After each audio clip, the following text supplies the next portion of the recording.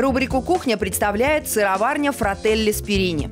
Доброе утро! Продолжается наша программа. И, как всегда, друзья, после утренней зарядки мы отправляемся на кухню с большим удовольствием, надеюсь, с большим аппетитом, чтобы приготовить вкусный и полезный завтрак. Сегодня нам в этом поможет Анастасия Шихирина, директор по продажам сыроварни Фрателли Спирини. Доброе утро! Доброе, доброе утро, утро Настя, любимый. доброе утро. Ну что ж мы сегодня будем готовить? Всем телезрителям очень интересно. Вкусный что мы попробуем на завтрак? Сегодня мы будем пробовать на завтрак яичницу с сыром скоморца. Ох, как mm-hmm. интересно. Попробуем. Ставьте Итак, сковорода на плиту. Угу. Только я не расслышала, с каким сыром? Скоморца, вот она перед вами. Это что это такой за сыр? Это молодой сыр, приготовленный по итальянской технологии. Очень вкусный, полезный, без консервантов, из натурального молока. А, а на какой он похож? На какой вкусу, похож? Чтобы нашим зрителям описать. Он не похож на вкус Он ни на похож что. ни на что. На вкус Попробуйте. Лучших итальянских сыров. Однозначно. Хорошо, давайте. Что Что нам еще понадобится? Нам понадобится тост, естественно, яйцо, э, сам сыр, масло, соль, перец, ну и, собственно, в общем-то... И фантазия. И фантазия, да. Кто на что гораст. Масло наверняка оливковое. Конечно. Что там с нашей сковородочкой? Немножечко как пусть. здорово. Пока тут тосты жарятся, расскажите нам, как производится сыр. Мы берем э, свежий надой молока, так. привозим на производство. Молоко уральское? Уральское, башкирское у нас Отлично. есть. Высшей категории. Высшей категории. С высоким содержанием белка. Так. Так, Очень... привозите на производство и потом что ж Да, передаем сыроварам. Так. Используется сычуга, они молоко там загущают, потом, в общем, чего-то там Там месяц. целое, это же производство. Да. да, мне кажется, можно еще чуть-чуть подрумянить. Еще чуть-чуть, буквально две минутки. Э, общем, этот сыр относится к категории твердых сыров, мягких сыров, каких? Это полутвердый сыр, на самом деле он может быть и совсем мягким, когда свежий. И если его выдержать от 3 до 6 месяцев, он уже будет относиться более к категории твердых. Отлично. А э, молодой сыр и пожилой сыр, они чем отличаются? Ароматом, вкусом, насыщенностью. То есть молодой будет более мягкий вкус сливочный. Ну, а... потому что он молодой, да? Конечно. Ну, переворачиваем тосты. Они теперь уже точно готовы. После того, как мы поджарим тосты, что нам нужно будет сделать э, следующим шагом? Я буду привлекать Максима с его мужской силой на Давайте. помощь. Нужно будет вырезать кольцо вот на этих вот двух тостиках. Отлично. Причем ровненько, аккуратненько. Одно кольцо. Одно кольцо, два не влезет. Выкладываем тот же самый тостик на сковородочку. Сейчас мы это все очень быстро организуем. Теперь аккуратно вбиваем яйцо в этот круг. Как здорово. Максим, надо немножечко убавить. Хорошо, пожалуйста.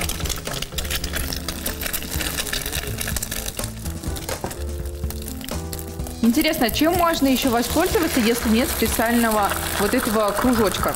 Мне кажется, можно ножом вырезать. Аккуратненько, да. Ну, можно, но не очень удобно на самом деле получается. Так, Теперь посолить. немного соли. Дорогие друзья, обращаю внимание, что соль и перец вы это делайте по вкусу. Тот, кто не употребляет соль, может, может обойтись просто перцем. Точно. А кто и перец не употребляет, можно обойтись и так. Ой, как вкусно! Так, немножко можно посыпать сыром. А вот этот сыр, он плавится? Он плавится, но не очень сильно. Потому вы сейчас сможете это увидеть. В идеале, конечно, это можно натереть на терочке сыр. На мелкой, Тогда да? совсем да. мелко. Но поскольку в гости не ходят с теркой и с тостером, поэтому я порезала ножом. Так. Еще сыра. Да? Да, можно Обязательно ли использовать какой-то специальный сырный нож? Или можно любым? Да, можно любым. Вряд ли кто-то держит дома специальный набор, там, не знаю, сырный какой-нибудь нож. Закрываем. Так, крышка. Выключаем. Крышка, друзья. И закрываем выключаем? И выключаем. Да, иначе тост начнет гореть. Нужно, чтобы чуть-чуть сыр подплавился. Понятно. Я прямо через крышку вижу, сыр расплавился. Але, ап, прошу. И теперь мы аккуратненько вырезаем то, что у нас случайно пролилось мимо угу. тоста. Мне кажется, яйцо еще не до конца запеклось. Значит, надо подождать. Да, хорошо. Угу. Давайте я вам помогу. Давайте. Вот здесь я буду весьма аккуратен и нежен этим тостом. Максим, а вы что едите на завтрак? Вы знаете, э, вам честно сказать? Да, Или конечно, честно. да? А Я, к сожалению, практически никогда не завтракаю. Чашка кофе и вперед. Ну так, конечно, у вас тут придут все завтрак приготовят. Да. В этом плане мне повезло с работой, я вам точно скажу. Точно. Итак, еще раз закроем крышечкой, чтобы э, Чуть-чуть яйцо яйцо подпеклось. подрумянилось, да, э, там. Э, Давайте спросим у Златы. Злата, что ты предпочитаешь на завтрак? А Злата предпочитает две чашки кофе, Максим, чуть больше, чем ты. Потому что я действительно с утра тоже не могу по каким-то причинам завтракать, а вот через пару часов после пробуждения во мне просыпается аппетит. А как же, а как же вот эта знаменитая э, римская поговорка «завтрак съешь сам, обед поделись с другом, а ужин Завтрак-то врагу»? я съем, просто он у меня чуть позже, он как раз готовится. И поэтому, когда я прихожу на работу, меня всегда ждет горячий завтрак. Отлично.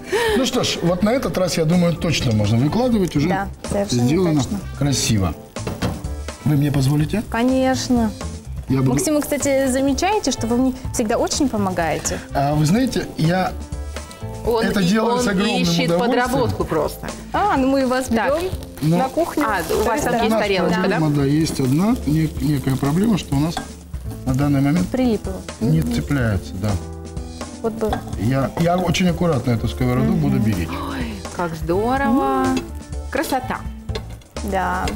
Если бы хлеб был чуть-чуть побольше в размере, было бы намного удобнее. Я вам расскажу один Конечно. секрет. Очень-очень давно, когда мы еще только начинали с вами входить в эпоху всяких разных разносолов, а, мне рассказали э, маленький, показали даже маленький секрет уральской пиццы. Вы даже не представляете. Взяли булку хлеба, разрезали ее, выскребли всю мякоть, наполнили туда всячесть всячине и поставили в духовку, сверху засыпав чуть-чуть сыром. Ты нас не забалтывай, выкладывает он себе там все самое вкусное. Все самое вкусное Анастасия сейчас закладывает сама. Немц. Вот такой вот завтрак для любимых. Еще раз, как называется этот сыр? С коморцем.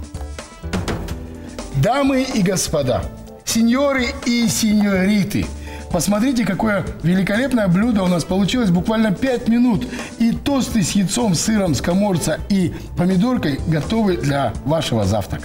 Ну а мы прямо сейчас предлагаем всем телезрителям узнать, какие интересные мероприятия стоит посетить в Екатеринбурге на этой неделе. У нас на очереди афиша.